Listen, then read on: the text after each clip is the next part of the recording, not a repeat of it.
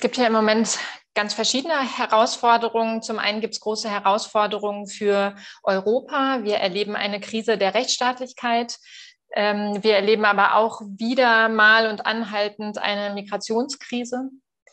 Es gibt die Krise der Niedrigzinsen. Viele Stiftungen hatten damit zu tun in der letzten Zeit, dass ähm, Budgets gekürzt werden mussten, es weniger Geld äh, gibt für unsere Arbeit. Und das ähm, ist auch für uns ein Thema. Und dann ist natürlich außenrum noch Corona. Das beschäftigt alle ähm, und immer wieder und jetzt gerade wieder neu die Frage, wie können wir unter Corona-Bedingungen arbeiten? Was bedeutet das für uns in unseren Häusern? Was bedeutet das für unsere Projekte, gerade dort, wo wir Menschen zusammenbringen wollen? Das bleibt ein großes Thema. Der Bereich Europa in der Welt bei der Stiftung Mercator hat vier Themenschwerpunkte, Handlungsfelder heißt das bei uns.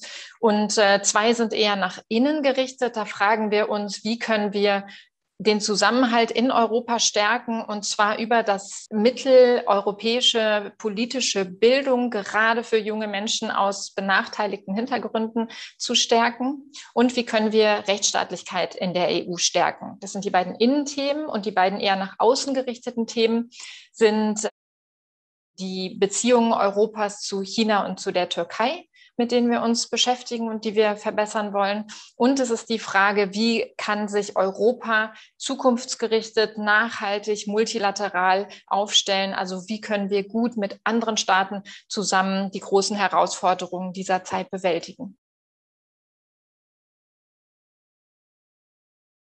Ich glaube, dass gerade in solchen herausfordernden Zeiten Zivilgesellschaft eine große Aufgabe hat und auch große Möglichkeiten hat. Denn gerade Stiftungen, die auch das Potenzial haben, wirkungsvolle Projekte zu fördern, können ja langfristig und auch unabhängig von der jeweiligen Regierung zum Beispiel oder einer politischen Lage langfristig Ziele und Projekte unterstützen. Und gleichzeitig können wir auch kurzfristig reagieren und mit einem relativ kurzen Vorlauf sagen, da entsteht gerade ein Problem in Europa oder in unserem Land und darauf möchten wir reagieren. Ich glaube, diese Beidseitigkeit von langfristigem Denken und gleichzeitig kurzfristiger Flexibilität ist eine wichtige, äh, ein wichtiger Aspekt unserer Möglichkeiten. Und ich glaube auch, dass wir noch besser ausschöpfen müssten, was uns immer zugeschrieben wird, nämlich Risikobereitschaft. Ich glaube, dass Stiftungen und auch andere zivilgesellschaftliche Akteure noch risikobereiter sein können, Dinge ausprobieren können, auch Fehler geschehen lassen, damit wir gute und innovative Ansätze finden, wie wir mit diesen vielen Herausforderungen unserer Zeit umgehen können.